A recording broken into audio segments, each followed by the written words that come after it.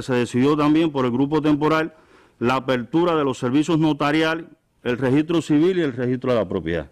Son otros servicios que estaban limitados en esta etapa y a partir de mañana comienzan a funcionar. Este servicio sería hasta las 7 de la noche en estos lugares y se ha organizado la atención a la población por cita para la firma y recogida de los documentos para también evitar aglomeración y concentración de población en estos establecimientos. Estaríamos hablando de permutas, donaciones, compraventa, entre otros servicios.